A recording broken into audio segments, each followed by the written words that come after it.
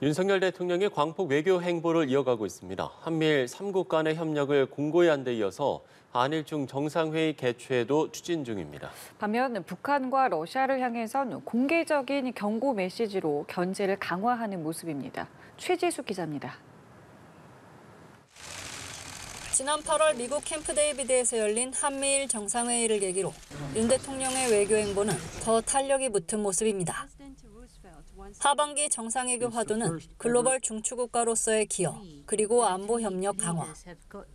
윤 대통령은 최근 아세안 관련 정상회의와 G20 정상회의, 유엔 총회 참석을 계기로 우리나라의 국제적 영향력 확대를 도모하는 한편 선명한 대북 압박 메시지를 연이어 발신했습니다.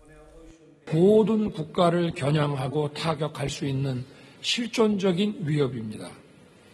북한의 핵 개발 의지보다 이를 저지하려는 국제사회의 결의가 훨씬 더 강력하다는 것을 우리가 분명히 보여주어야 합니다. 특히 북한과 러시아 간 군사협력 정황이 구체화됨에 따라 유엔 총회 기조연설을 통해 공개 경고에 나서기도 했습니다. 러시아와 북한 군사 거래는 우크라이나뿐만 아니라 대한민국의 안보와 평화를 직접적으로 겨냥한 도발이 될 것입니다. 대한민국과 동맹, 우방국들은 이를 좌시하지 않을 것입니다.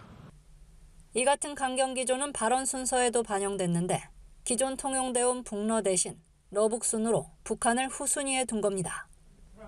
반면 중국을 향해선 한반도 평화를 위한 건설적 역할을 당부하며 한일 중 정상회의 추진을 고리로 집중 관리에 나선 분위기입니다. 한미일 안보협력 강화에 대응해 북중러 결속이 가속화할 경우 신냉전 구도가 더욱 고착화할 수 있는 만큼 이를 사전에 견제하기 위한 조치로 분석됩니다.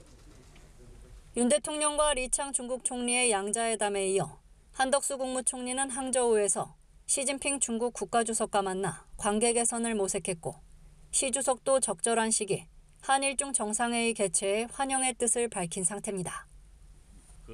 이와 별도로 정부는 시 주석의 방한 관련 협의도 진행해 나갈 방침입니다. 급변하는 외교 정세 속에서 윤 대통령의 전방위 외교전이 한반도 안보 지형에 어떤 변화를 가져올지 주목됩니다. 연합뉴스 TV 최지숙입니다.